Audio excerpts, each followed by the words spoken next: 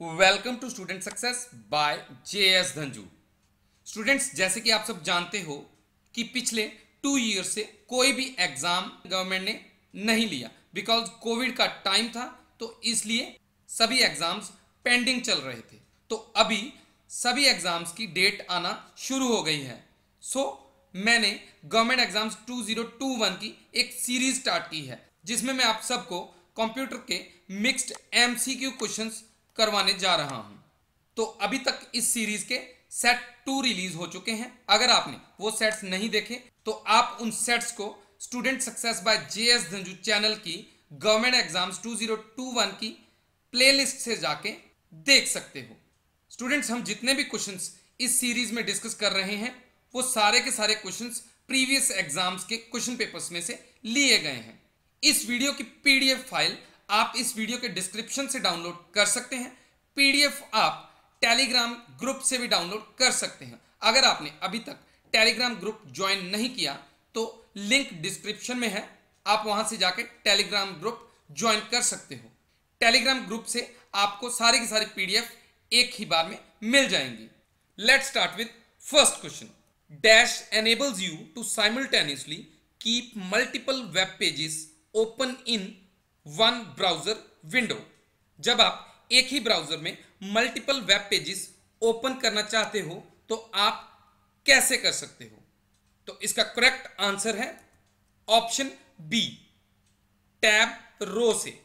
ये देखिए, जैसे ये आपके सामने एक वेब ब्राउज़र है, गूगल क्रोम।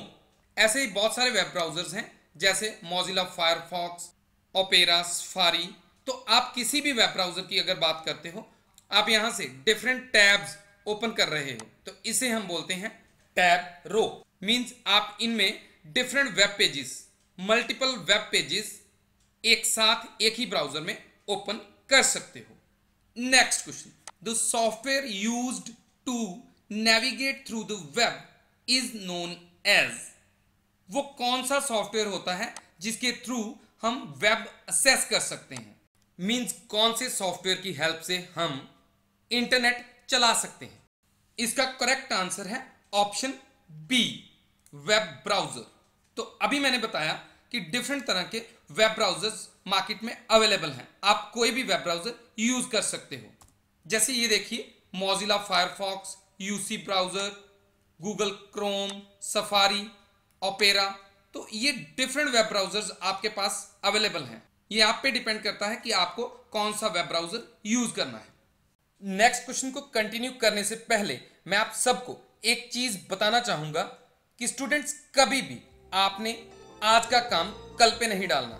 जो इंसान आज का काम कल पे डालता है, वह लाइफ में कभी ग्रो नहीं कर सकता। अगर आपने यह डिसाइड किया है कि मैंने यह काम करने के बाद ही आज सोने जाना है तो आप उस काम को कंप्लीट करने के बाद ही सोने जाओ। इससे आपकी लाइफ में बहुत बड़ा चेंज आएगा और आप स्टेप बाय स्टेप सक्सेस की ओर बढ़ते चले जाओगे। तभी तो कहते हैं, मंजिल उन्हीं को मिलती है जो निरंतर चलते हैं। Because consistency is the key to success next question human beings are referred to as homo sapiens which device is called silicon sapiens human beings को होमोसेपियंस बोला जाता है। और वो कौन सा डिवाइस है जिसे सिलिकॉन सेपियंस बोला जाता है। तो इसका करेक्ट आंसर है ऑप्शन बी कंप्यूटर तो कंप्यूटर को सिलिकॉन सैपियन क्यों बोला जाता है?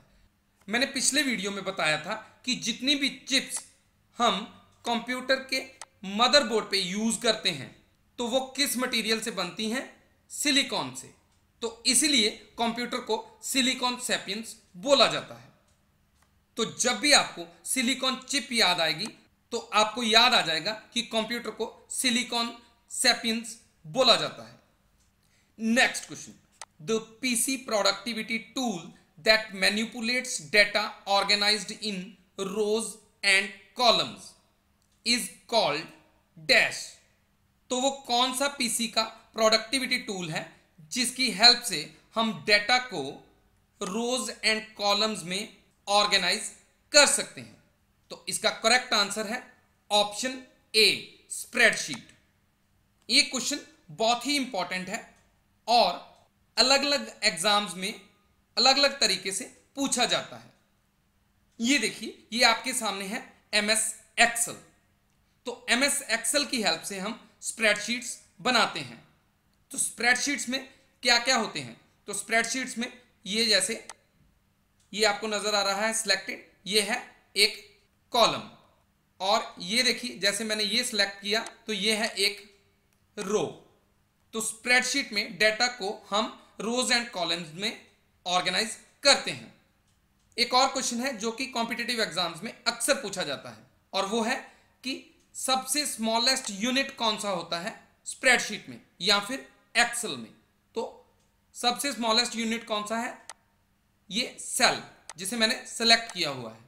तो cell is smallest unit in Excel next question dash is the process of dividing the disk into tracks and sectors यहाँ पे ये किस डिस्क की बात कर रहा है? तो यहाँ पे हार्ड डिस्क की बात हो रही है कि हार्ड डिस्क को किस प्रोसेस के थ्रू ट्रैक्स एंड सेक्टर्स में डिवाइड किया जाता है? तो इसका करेक्ट आंसर है ऑप्शन सी फॉर्मेटिंग तो ऑपरेटिंग सिस्टम में हम हार्ड डिस्क की जब फॉर्मेटिंग करते हैं तो डिस्क जो है, वो ट्रैक्स एंड सेक्टर्स में डिवाइड हो जाती है।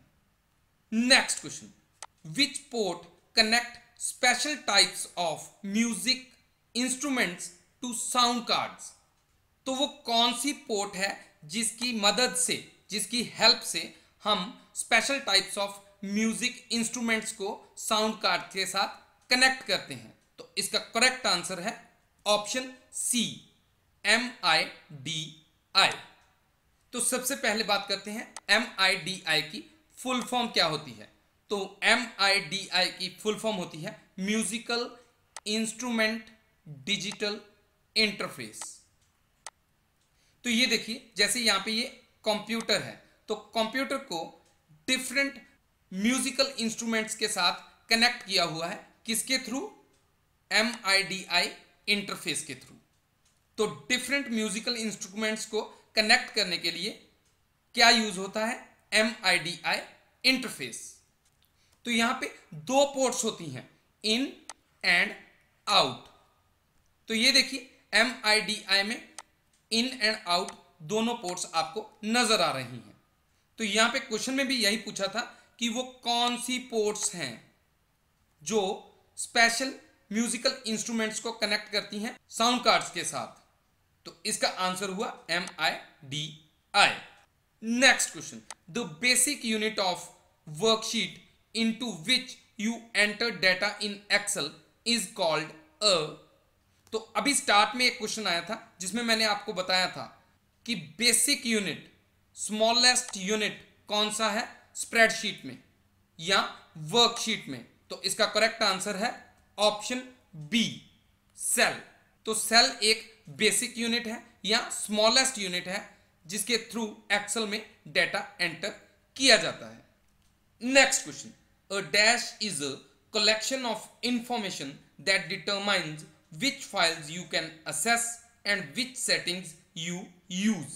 तो इसका करेक्ट आंसर है ऑप्शन सी यूज़र अकाउंट तो यूज़र अकाउंट से आपको परमिशन मिलती है कि आप कौन कौन सी फाइल्स को असेस कर सकते हो ऑपरेटिंग सिस्टम में और सारी की सारी सेटिंग्स यहीं पे होती है कि किन किन फाइल्स पे आपको असेस मिलेगा या नहीं।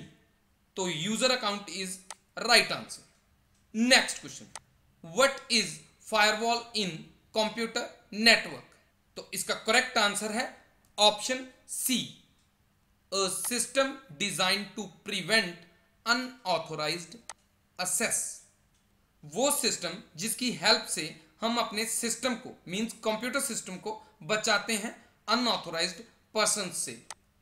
तो उसे हम क्या बोलते हैं? फायर वॉल फायर वॉल बहुत ही इंपॉर्टेंट कॉन्सेप्ट है। हम इसे अच्छे से समझ लेते हैं। तो ये देखिए, जैसे ये आपको एक वॉल नज़र आ रही है तो फायर वॉल एक वॉल की तरह काम करती है। मींस जैसे ये है आपका सिस्टम यहाँ पे लोकल एरिया नेटवर्क जहाँ पे आपने पीसीज लगाए हुए हैं। और ये है outside world means internet wide area network तो फायरवॉल क्या करेगी?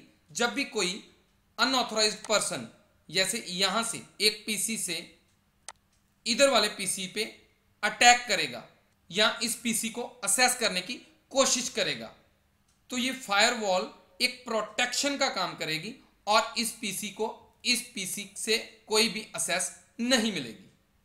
अगर ये पीसी इनमें से किसी भी पीसी पे असेस ले लेता है वायरस की हेल्प से इन पीसीज को डैमेज कर सकता है। तो फायरवॉल की हेल्प से हम अपने पीसीज को प्रोटेक्ट करते हैं। अच्छा यहाँ पे एक फायरवॉल से रिलेटेड एक और क्वेश्चन आता है कि फायरवॉल हार्डवेयर है या सॉफ्टवेयर तो इसका आंसर है बोथ। फायरवॉल हार्डवेयर भी है और सॉफ्टवेयर भी है। तो इतनी इंफॉर्मेशन फायरवॉल के रिगार्डिंग आपके एग्ज़ाम के लिए सफिशियंट है।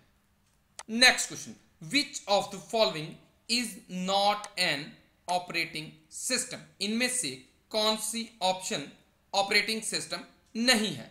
तो इसका करेक्ट आंसर है option B Oracle Oracle operating system नहीं है। तो विंडोज़ का आप सबको पता है कि ये ऑपरेटिंग सिस्टम है लाइनेक्स भी ऑपरेटिंग सिस्टम होता है, और डॉस इसके बारे में अगर आपको नहीं पता तो आप याद कर लीजिए कि डॉस भी एक ऑपरेटिंग सिस्टम है। डॉस की फुल फॉर्म होती है डिस्क ऑपरेटिंग सिस्टम तो अगर ऑरेकल ऑपरेटिंग सिस्टम नहीं है तो ऑरेकल क्या है? तो ये देखिए ऑरेकल एक आरडीबीएमएस है। R D B M S जिसकी फुल फॉर्म होती है रिलेशनल डेटाबेस मैनेजमेंट सिस्टम जो कि डेटाबेस को मैनेज करने के लिए यूज़ होता है। तो आप याद रखिए कि ओरेकल एक आरडीबीएमएस पैकेज है, जिसकी हेल्प से डेटाबेस मैनेज किया जाता है। तो कई बार क्वेश्चन आता है कि आरडीबीएमएस की फुल फॉर्म क्या होती है? तो अभी मैंने बताया कि रिलेशनल डेटाबेस मैनेजमेंट सिस्टम अब आपके लिए लास्ट वीडियो के क्वेश्चन का आंसर लेकिन उससे पहले मैं आप सबको बता दूँ कि गवर्नमेंट एग्ज़ाम 2021 ईयर में प्रेपरेशन के लिए मैंने एक न्यूज़ सीरीज़ स्टार्ट की है, जिसका हम ये थर्ड सेट कर रहे हैं। और अगर आपने प्रीवियस सेट्स को नहीं देखा तो ये टॉप राइट कॉर्नर में आपको एक आई बटन आएगा। आप उस पर क्लिक करके प्रीवियस सेट्स को भी देख सकते हो। अब question use the dash feature to send a reply to recipients and originator of email. It can include the original email. जब आप ईमेल का रिप्लाई करना चाहते हो तो आप उन सबको भी रिप्लाई करना चाहते हो जिनको ये वाली मेल सेंड हुई है और उस पर्सन को भी जिसने ये मेल सेंड की है। तो आप कौन सा फीचर यूज़ करोगे? तो इसका आंसर है रिप्लाई ऑल मींस आप जिनको मेल सेंड की गई है, उन सभी को, और जिसने मेल सेंड की है, उसको भी मेल का रिप्लाई कर रहे हो। तो आंसर, रिप्लाई ऑल होगा। यह क्वेश्चन इंटरनेट के सेक्शन ईमेल में से लिया गया है। ईमेल से रिगार्डिंग जितने भी क्वेश्चंस आते हैं, इस पे मैंने एक अलग से वीडियो बनाई है। आप उस वीडियो को, इस वीडियो के डिस्क्रिप्शन से जाके देख सकते हो। तो जितने भी ईमेल से क्वेश्चंस आते हैं वो सारे के सारे आपको उस वीडियो में मिल जाएँगे। अब आपके लिए आज का question name the device that converts the text information into spoken sentences कोई भी रिटर्न टेक्स्ट को स्पोकन सेंटेंसेस में कन्वर्ट करने के लिए कौन से डिवाइस का यूज़ होता है? यह क्वेश्चन मैंने सेट टू से लिया है। अगर आपको इस क्वेश्चन का आंसर आता है तो आप कमेंट बॉक्स में इस क्वेश्चन का आंसर ज़रूर दीजिए। अगर आपको इस वीडियो से कुछ सीखने को मिलता है तो आप इस वीडियो को लाइक कमेंट एंड शेयर करना मत भूलें, ताकि आपके फ्रेंड्स भी इस वीडियो का बेनिफिट ले सकें। Thank you for watching